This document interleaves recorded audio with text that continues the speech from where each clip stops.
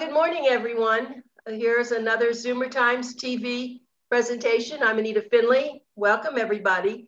Everyone's used to Zoom, and we're very fortunate to have Richard Lederer calling in from uh, California. And uh, Richard is very, very important to us. He writes a monthly column, and they're extremely literate, articulate, and rare. You don't see this anywhere else. So we're very privileged and we have, we've captured him now on Zoom. So thanks for being with us, Richard. Good morning. Good morning. Great to be with you. Uh, always an interesting time in history, especially these days. Um, and uh, I'll just start with the thought that uh, you switched over to Zoom fairly recently, and you just think 102 years ago how isolated folks may have been not having it. In fact, they certainly were more isolated. And here we've come up with this uh, invention. We have come up with um, the vaccines. Hey, Anita, I uh, got my first and my second's coming soon. How about you? I've had both of them. I'm just adjusting my uh, camera right now. Sorry. Yes, so that's okay. People okay, like your I'm hair. back now. I'm okay. Right. I uh, got both of them without any problem and I felt fine. How about you? Because you and I are about the same age. Well, it took quite a while for the first. Yes. Uh, but uh, my wife and I, and she's uh, 74. Uh, I am 80, 83, um, but uh, 82 rather. But at any rate, uh, we got ours. I'll get mine sooner because mine was Pfizer and hers was Moderna. I see. And I hope and and it was uh, uh, i'm sure you had the same experience anita and that is um, you just uh, a surge in your heart uh, and a cavell maybe for humanity in that uh, all sorts of volunteers mostly female directing the cars in the underground garage. Then i got my shot from an active female um, fire person firefighter. That's it. That would do it. And uh, it didn't feel anything. Uh, in general, you get uh, a reaction more with the second vaccine. Uh, and that's not a bad thing if you get muscle soreness or whatever, because um, it means it's working, not that it doesn't work the other way. What's to be borne in mind is that you, uh, you've probably had a lot of shows on this. You can still get it uh, but you're not going to be hospitalized and die. And uh, the uh, chances of your being, a, you can still be a carrier because you can still get it, but the chances are greatly reduced there.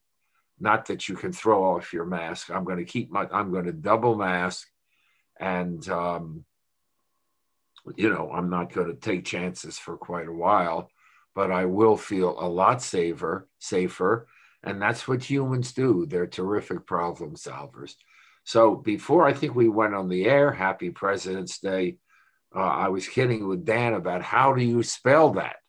So our vast audience out there, I'll give you three choices, capital P R E S I N D E N T apostrophe S, President's Day, okay? T apostrophe S. P R E S I D E N T S apostrophe or presidents, no mark of punctuation at all. So think about that out there and I'll give you the answer. And actually, two of the three are okay. Uh, the one you don't want to do is president apostrophe S because it's clearly for minimally Washington and Lincoln both of whose birthdays occurred in February. So it was initially to honor both of them, but it's clearly expanded. And the apostrophe S, uh, what we call the genitive case ending, possessive, is um, the apostrophe is to or for whom.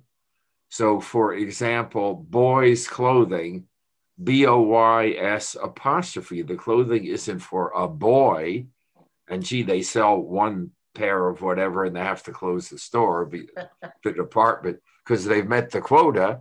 Uh, it's for boys or typically kids' meal. and I see all the time KID apostrophe S meal. One kid eats the meal, bing, they can't serve anymore. They've met their quota. No, it's for kids and for boys in my two example. So the two that I would accept are presidents apostrophe S. I prefer that, but presidents without the apostrophe, I will also accept that. So okay. there's one of those bar bets that I did way back. Okay. So I want to lead into that into uh, senior life, Anita. And you, how many how many years have you been active with this group? Started in 1990. 30, wow. 30 some odd years, about 31 to 31 years. Right, and you and you were the kind of founder, right? Yes, uh-huh. it was something. As a matter of fact, people asked us. We were not doing that. I was just doing radio and speeches, and they said, we need a newspaper or something. And I said, well, I don't know how to write a newspaper. And then my wonderful husband went, actually looked in California at some of the samples that, that, that were there. And we, we tried to copy some of them and it was, it's been an evolution. And now here we are.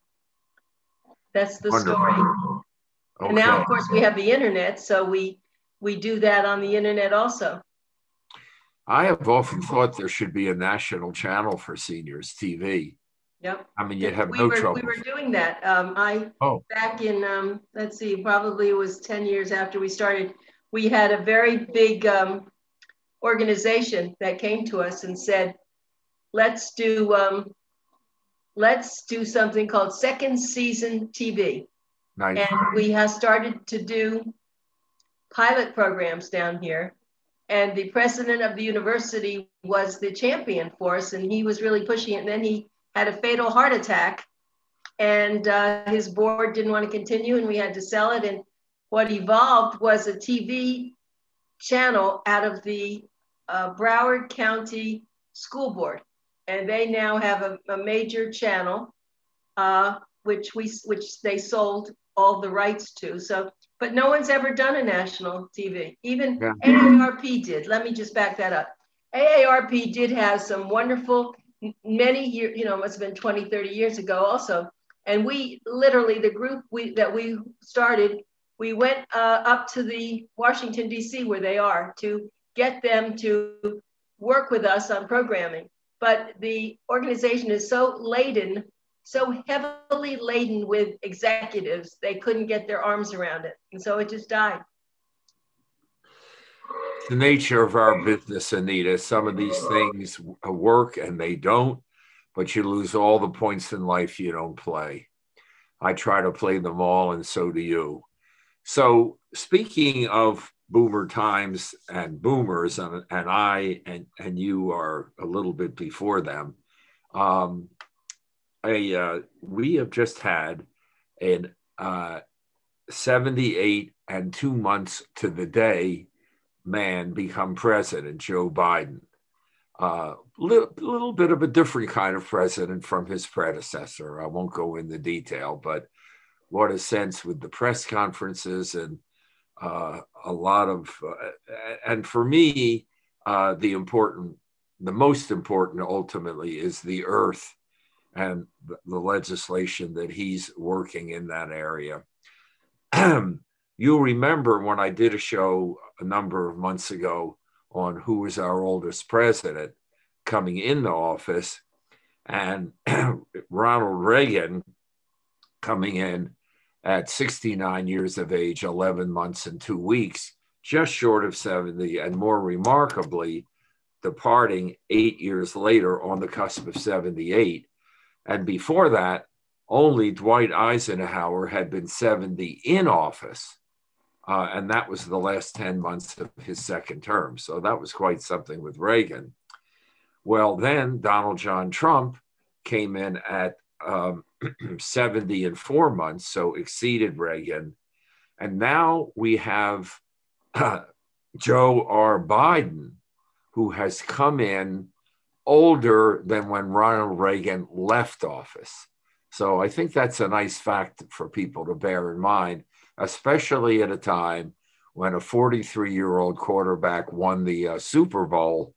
Uh, and he was from that great state of, let me just see if I can remember that. Oh, Florida. right. Tampa Bay. My God, look at their teams there. Uh, their baseball team into the World Series, and uh, the Rays and uh, their hockey team. I think won big. But where is Brady actually? Where was he? Where did he grow up? Good question. I obviously lived in New England for many years. Um, right. I may have been Californian.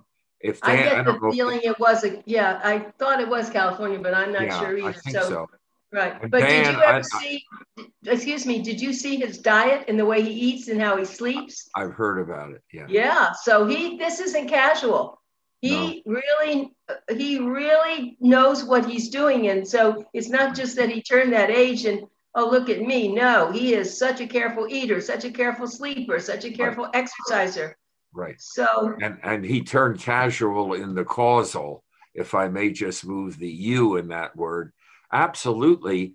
Uh, LeBron James, you know, who's playing the best basketball of his life at 36, he spends at least a million dollars on his nutrition and his body, and he mm-hmm. gets it back in, uh, you know, in, in spades. Um, uh, absolutely. And the second oldest coach in history to win a Super Bowl, Bruce Arians, uh, 68. And in fact, I loved the um, advertisement uh, that they had for the Super Bowl the goat versus the kid. Now, I don't know if you get that, uh, but just uh, maybe out there for our friends, GOAT, greatest of all time, and with seven Super Bowls, 10 appearances, pretty hard to argue, uh, at least among quarterbacks. he has more uh, Super Bowls than you know than than his main rivals, Mahomes, Rodgers, uh, uh, Peyton Manning. Uh, he still has more seven of 10 and MVPs and uh, this and that. So um, just. And he looks good. And you have to say something about his gorgeous wife, his second wife, right. she's fantastic. Oh my God, a famous model. Right. And he looks great. Absolutely. Um, and I think, you know, he's a good guy. I wouldn't uh, always throw the Lombardi trophy around in the Bay, uh, but nonetheless. So, uh, do you know the price of a pair of e- earrings for a pirate, Anita Finley. Do you know how would I know that? well, because you may have heard the pun before. Are you ready? Okay. A buccaneer. right, a buccaneer. a buccaneer. So That's a little bit good. relevant. So right. Uh, what I'm going to do is give a little bit away. Um, so just uh, something amazing about aging. And I myself uh, and I'll be 83 in a few months. Uh, and after this, I'm running out to the tennis court, and I am running like on the. I am playing tennis three times a week, and honestly, I can run like the wind, not the winded. Um, uh, and uh, I have not switched over to pickleball because I like the extra running. And uh, I'm now about six one. I used to be almost six four, but I can still haul it around. And I hope you notice that I've been losing weight for that. I don't know if you can tell from my face, but I just want everyone to know on the weight loss, I've made a big breakthrough and I've discovered it has to do with diet and exercise. I bet you didn't know mm-hmm. that before. Right. Um, but but you do now. um, I want to say something about Amanda Gorman, and this has to do with President's Day. Uh, and uh, let me just get that up on my screen here. And this is going to be a part of uh, what you all, um, let me just see if I get the right one here.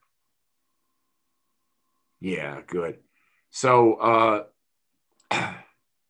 I'm sure a new name for many of you is Amanda Gorman.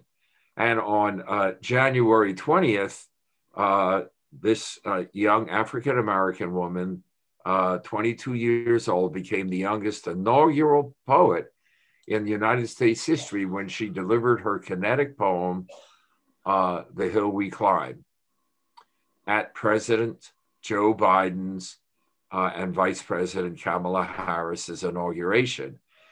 Now, Amanda had o- overcome a severe speech impediment as a child, and that's in part why Jill Biden, as you know, PhD in education and an English teacher, my kind of lady, um, picked her uh, and suggested her for this uh, occasion because, of course, her husband Joe Biden had uh, been uh, had had a stammer, which he's pretty much uh, collected, uh, overcome.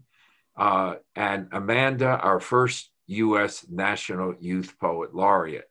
In The Hill We Climb, Gorman illustrated the power we have to seize the dawn before us and rejuvenate our democracy.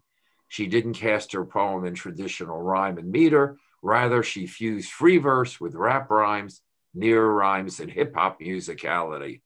Hers was performance poetry, as all the while she gestured expressively with every word she shared. And the brief history of uh, poet poets at um, inaugurations, it was started by John F. Kennedy in 1961. I remember watching it. And that inauguration marked the first time that a poet, Robert Frost, certainly the best known American poet of the 20th century and maybe of any century, participated uh, in that event. Bill Clinton followed suit by featuring Maya Angelou, also very well known at his first inauguration, and Miller Williams at his second. Barack Obama included Elizabeth Alexander in his first inauguration and Richard Blanco in his second. And now Amanda Gord, uh, Gorman has joined these literary luminaries in creating and voicing words that will echo through the minds of Americans for years to come. Then, uh, Anita, are you aware that she did a piece at the Super Bowl? I was just going to say that. If you didn't say it, I was going to tell you, but of course you knew it. Yeah, the first uh, poet to uh, perform at the Super Bowl. Uh, a clash that was wonderfully billed as the GOAT for greatest of all time. And that's Tom Brady, 43 years old, and the kid, Patrick Mahomes, 25 years old. Right. Wow. Um, so, uh, uh, and uh, she did the chorus of captains, uh, naming three honorary captains there, uh, including, uh, incidentally, Trimaine Davis, who a, a, a graduate of uh, San Diego State University here. And hey, before I forget, I was thinking about how new words come into the language, and I've mentioned some from COVID, my two favorites being COVIDiots, uh, folks who behave irresponsibly uh, with COVID. And of course, after the Super Bowl, we had a bunch. Uh, and Blur's Day, uh, where you can't tell what day it is, you know, unless you check your uh, computer or maybe the special watch that you have. It's just day after day of somewhat the same. Um, and, and, that's Blur's Day, but never a Blur's Day with Anita Finley. Uh, that's not true. I'm glad glad you said that. Blur's Day. There's there are days that I'm a little bit. Is right. this Wednesday or Thursday? And I have to count right. back. Well, what did I do? Right. You're right. Blur's Day. Yeah, That's Blur's wonderful. Day. And again, I, it really hit me when I was writing to somebody about doing a Zoom. And I said, here's what I would like. I'd like you to unmute uh, the audience. I'm reaching more people, Anita, by Zoom than just in person. It's much more fun up close and personal, but uh, I'm just uh, reaching more, uh, just numerically, and enjoying it. So I was sending instructions uh, to this woman who was going to be doing the uh, tech check. And I noticed on my screen, unmute had the red squiggle underline, meaning this isn't a word. Well, of course it's a word. And it's a word for most of us who Zoom, but yeah. only as of last year, unless you ah. were a horn player. And for you horny people out there who had that mute thing, so you can mute and then, oh no, I'll unmute the trumpet. You knew that, but that's a very small number of us. And yes. the point is, there is just a good example of how we get new words, uh, well more than a thousand a year, and we're well over a million words in English. more than twice as many as any other, which is German is second, uh, and then Russian, and then tied for what fourth would be uh, French uh, and Spanish. Uh, but that's just a good example of how we get. And we don't have dictionaries anymore to go to. We have Google. That is correct. yeah, I mean that's what very. What would happen, Richard? Excuse me. Let me ask you a question. What would happen if Google was no longer Google, or they charged and we couldn't go there? What would we do? Well, in my case, I go back to the printed ones, which I'm surrounded by, but they wouldn't be up to date. And uh, you, you remember the saying, uh, necessity is, is the mother of invention? Yes. Now, invention is the mother of necessity, meaning we get it. right. You see, that's called chiasmus, where you switch words. Uh, huh. You get it, and then it, you can't do without it. And just think of all the things, you know, we would we would adjust. Of course, we're good at that, but uh, uh, you know, just the internet on the whole. My God, what would we do? And yet, it hasn't been around all that long. You know, when you were talking about apostrophe s or s apostrophe, there are times when I'm not sure about something like that. Would I put the quotes inside, outside, the apostrophe, okay. and I go to Google and I put it in, and it tells me. Good. The other possibility, and this goes for all our friends out there, is go to Richard, uh, and that is uh, right. uh, just go to and actually uh, you can actually see the spelling of my name, folks, if you tuned in uh, on the left, bottom left, and it's just Richard H. Lederer and gmail.com. Uh, incidentally, the quotes in where they go just to be very helpful, Anita. Period, always inside. The Brits do it outside, and I prefer that, uh, especially when there's just a short quote in there. There are many meanings to the word democracy, quote, democracy, and in the US, dot, unquote. Well, I don't like that, but I live in the United States, so I'm going to use it. People will think less of me commas always inside and semicolons always outside. But honestly, and my, um, excuse me, if you want to write my address, as I call it, is Richard H. Lederer at gmail.com. You see how to spell Lederer. So it really is pretty easy to do. And as a writer, Anita, uh, just just simply word processing as well as all the research stuff. Uh, you know, good gracious, um, I just, uh, how would I write again? Although I wrote for decades, you know, with just pen and paper and all of that stuff, and and whiteout. We remember those, and oh, co right. Corrasable bond.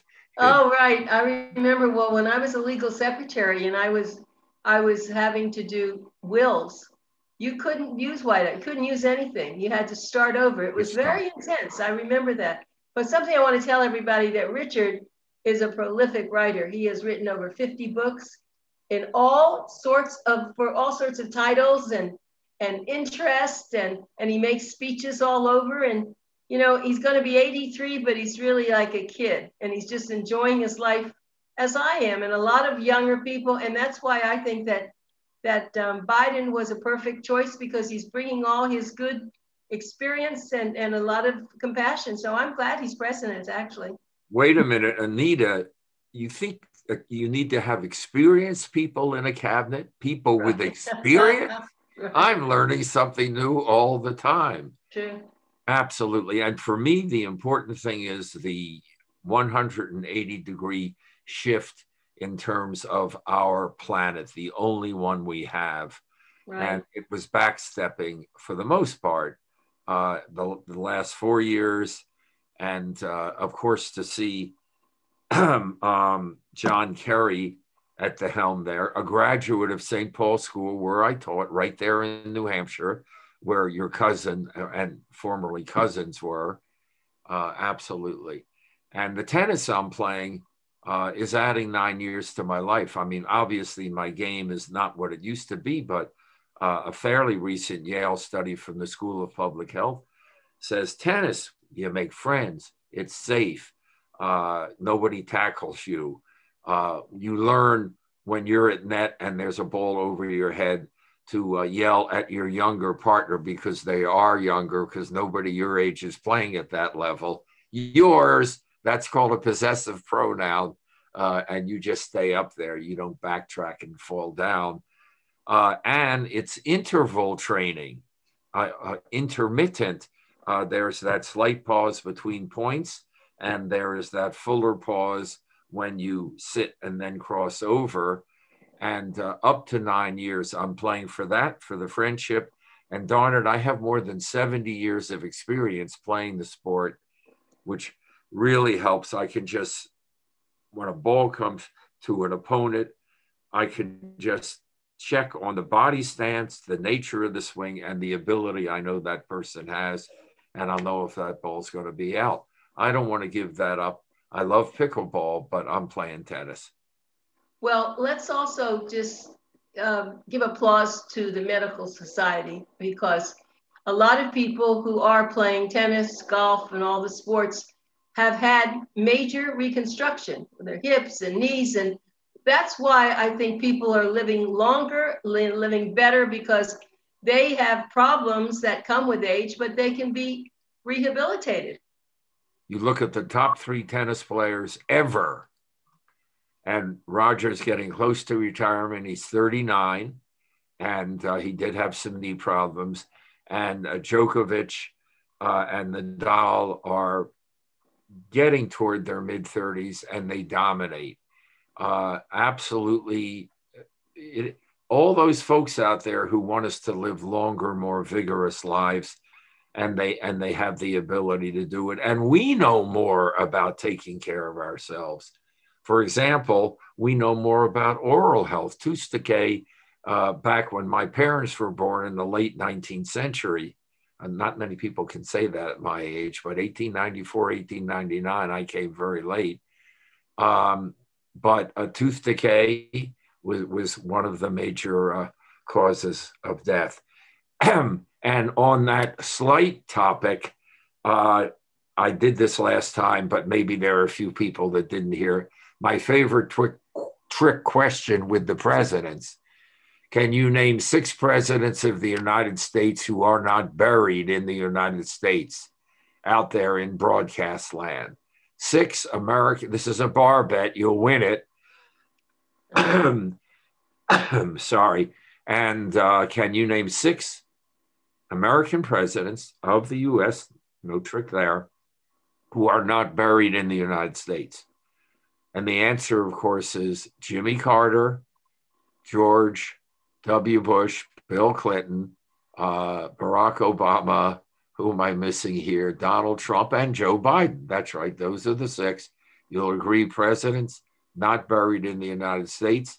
And there is a writer for Senior Life, Boomer Times, uh, whose daughter was fired on national television by a US president and um, uh, and um, that's what happened on national television. I know we're running out of time. The answer is tis I, Richard Lederer, was my daughter Annie Duke, 2009. Uh, she, as the winningest woman in poker history at that time, invited onto the show. 14 fired, down the two. Annie Duke fired by Donald Trump a future president of the United States, uh, with my wife and me there.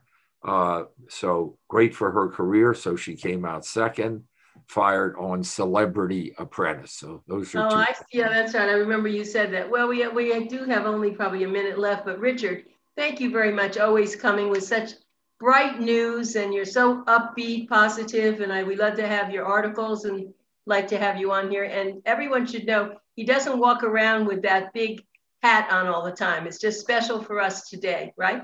You've got it. Absolutely. And, and you are worth something special. And, uh, you know, broadcast is an agricultural term. You cast your seeds, uh, your crops. Or, or but I'm not a joke. That actually is where it comes from. It I existed. It, yes, it existed uh, before uh, radio and television, and that's what you do. So everybody beautiful flowers sure, and crops come up, Anita. Right. So everyone should be sure when you read Boomer Times to look for our wonderful Richard Lederer's columns.